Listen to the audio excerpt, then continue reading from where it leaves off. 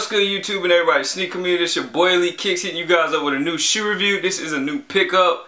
I know I've been out the game for a little while, just been busy. I'm on a silent hustle right now. I will let you guys know what's going on with me closer to when things start get start to happen. But uh, other than that, man, I've just been working, been busy, um, trying to, to get my fitness thing going. Uh, so I just been all over the place. I haven't caught much sneakers. Uh, but this particular pair was a pair that I wanted. Um, it was definitely a pair on the list, so I had to snag them up. So uh, without further ado, let's go ahead and get into the review. As you guys can see, it's a LeBron pickup.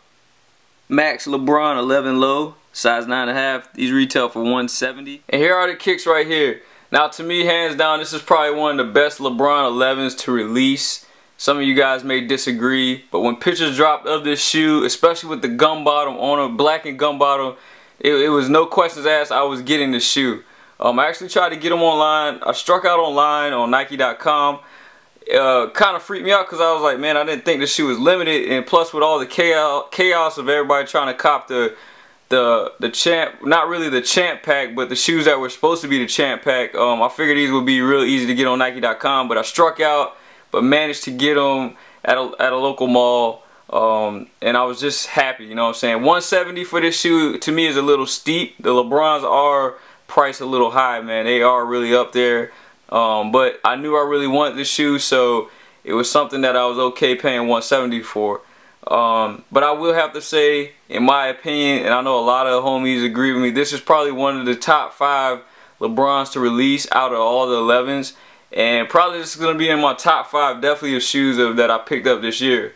Um, so I'm just to hit a couple uh, key points of the shoe, things I really like. There's nothing really uh, different about the actual shoe besides just the colorway and how they went with the gum bottle. So let's check out a few things I like about the shoe. Now when I say this outsole is nasty, that's what I mean.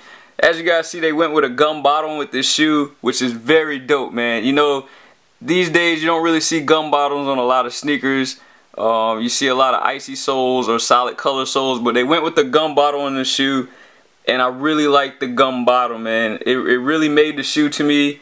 Uh, some of you guys may disagree, some of you some of you guys may agree, but as you guys see from the side how it looks, that gum bottom just totally tops the shoe off.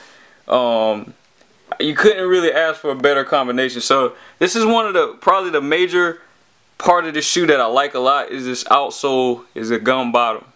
Other than the gum bottom, the shoe is just all black. And as you guys see the midsole right there with the air unit. But I just wanted to give you guys a closer look with the gum bottom and the black combination. This very hot combination. Alright, coming to the heel, as you guys see, you have this gloss black, like hard plastic material that wraps around like the back part of the shoe. Uh, I'm not gonna lie, when I seen pictures of this shoe, I actually thought this was like almost like a diamond cut look to it. That's how glossy it was um, in the picture maybe that person just had a great camera but uh I really thought it was like a diamond cut look to give it like a chisel look. But uh, I guess it's just so glossy that's how it looks. Um, one thing I did have problems with is when these shoes came they had like a plastic film over this I guess to help uh, keep it from getting scratched. But some of the stuff stuck to the shoe so as you guys see it may look a little foggy.